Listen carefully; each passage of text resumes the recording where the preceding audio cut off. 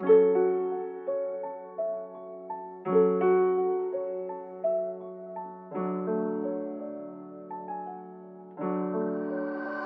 I don't know about it, Mikey.